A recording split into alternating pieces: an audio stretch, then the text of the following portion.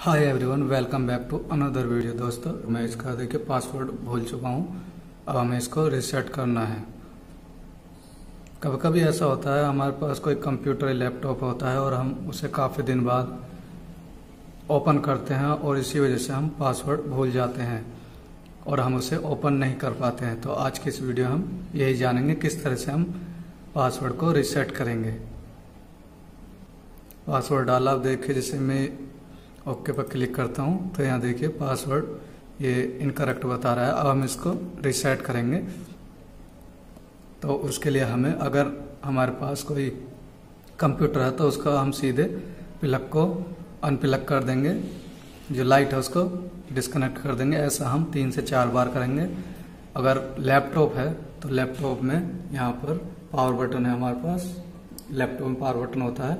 उसको हमें तीन से चार बार प्रेस करना है। इसको हमें जैसे हम प्रेस करेंगे तो इसको पाँच सेकंड हमें दबाना होगा। जैसे दबाते हैं।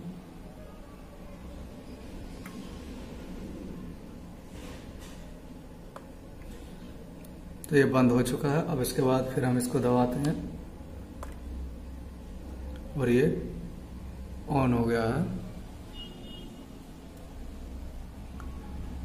अब फिर हम इसको हमें फिर से हमें पावर की दबाना है। और दबाना है जब स्टार्टिंग विंडोज़ लिखा आ जाए, तब हमें ये प्रोसेस करना है। तो मैं इसको फिर दबाता हूँ। पाँच सेकंड के लिए। अब ये हटा देता हूँ। ये बंद हो चुका है। फिर उसके बाद फिर रिस्टार्ट करेंगे। आप इसकी बैटरी भी निकाल सकते हैं सीधे। तीन से चार बार बैटरी निकालेंगे तो ये इस तरह का ऑप्शन हमें देखने को मिलेगा। ये रहा लॉन्च स्टार्टअप प्रिपेयर इसको हमें ऑप्शन को ऑन करना है। अब हमें इस पर ही हमें क्लिक करना है एंटर करना है, हमें पासवर्ड रिसेट करने के लिए। तो इस पर हमें एंटर कर देता हूँ। देखिए यहाँ पर Windows loading file process process चल रहा है। और इसके बाद थोड़ा सा टाइम लेगा। और यहाँ पर देखिए, कुछ इस तरह का हमें इंटरफेस देखने को मिलता है।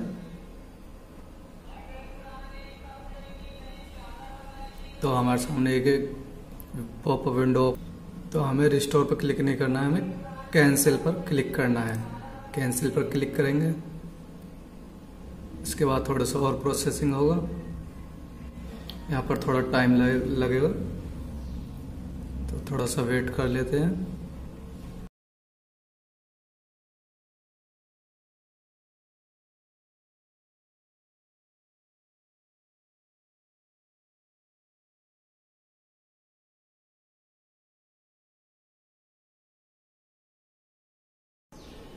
यहाँ पर थोड़ा टाइम लग सकता है 10 से 15 मिनट तक का यहाँ पर टाइम लग सकता है।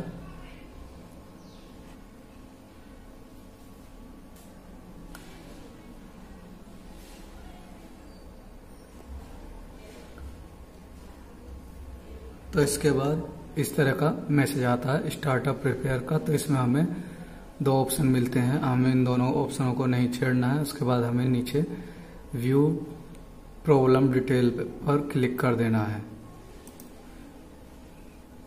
जैसे हम क्लिक करेंगे तो यहाँ पर ये यह कुछ एक्सपेंड होगा, खुल के आएगा कुछ, और इसमें हमें सबसे नीचे जाना है। और नीचे जाने के बाद यहाँ पर हमें ये जो दिखाई दे रहा है डॉट टी एक्स टी वाला लिंक इस पर हमें एक बार क्लिक कर देना है। जैसे हम क्लिक करेंगे तो यहाँ पर ये नोट पैड ओपन हो जाएगी। नोट पैड ओपन होने के बाद हमें इसको यहाँ से सेव एज करना है। सेव एज पर क्लिक किया देन इसके बाद हमें यहाँ पर सेव एज टाइप है तो यहाँ पर हमें ऑल फ़ाइल को सेलेक्ट करना है। सेलेक्ट करने के बाद देन हम जाएँगे, अपने कंप्यूटर को सेलेक्ट करेंगे। हमें जिस ड्राइव में हमारी विंडो इंस्टॉल है, उसको हमें सेलेक्ट करना है तो हमारी ई में है। तो हम इसको डबल क्लिक करके ओपन करेंगे। देन इसके बाद हम विंडोज़ फोल्डर इसको ओपन करेंगे। इसको ओपन करने के बाद हम सिस्टम 32 फोल्डर को ओपन करेंगे। तो हम सिस्टम 32 को यहाँ पर ओपन कर लेते हैं। ये रहा सिस्टम 32 इसको ओपन किया। इसको ओपन करने के बाद अब हम अब हमें इसमें यूटिल मैन के फ़ाइल है, उसको हमें खोजना है, सर्च करना है। तो चलिए मैं यू प्रेस करता हूँ।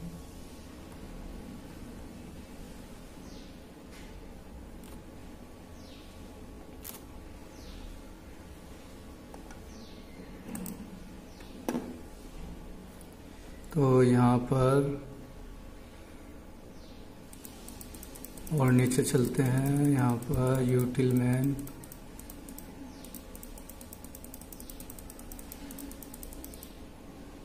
तो यहाँ पर ये रही यूटिल मैन तो इसको हमें, पहले इसको हम रीनेम करते हैं, फिर इसको हम यहाँ से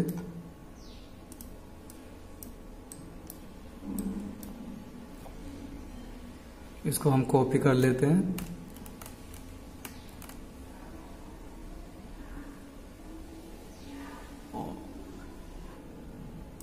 कॉपी करने के बाद हम इसका रीनेम कर देंगे तो इसको मैं वन लिख देता हूँ। इसको हम नो कर देंगे देन इसके बाद हमें सीएमडी को ओपन करना है। तो सीएमडी ओपन करते हैं।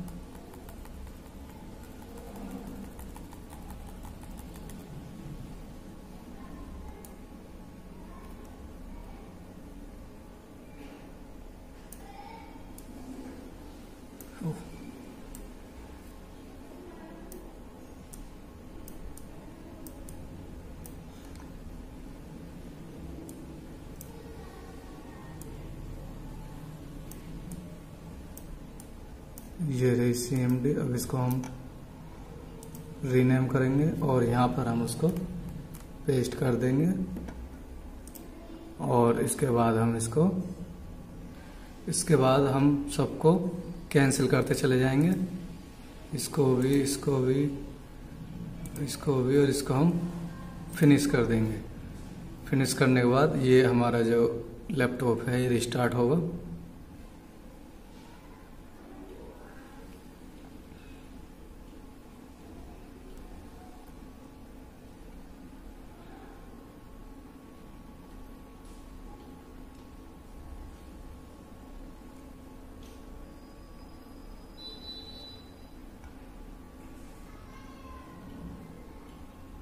रिस्टार्ट होने के बाद।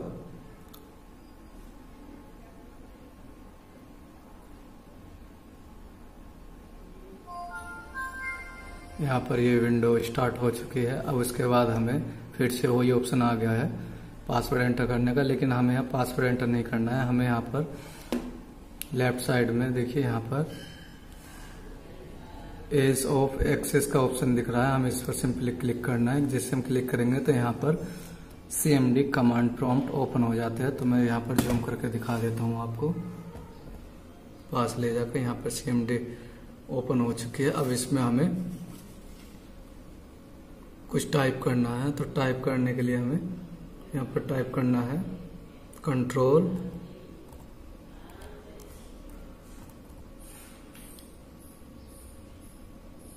कंट्रोल यूज़र पासवर्ड्स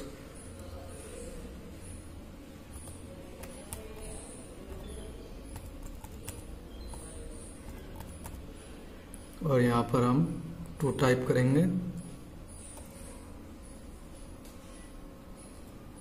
और यहाँ पर हम एंटर प्रेस कर देंगे।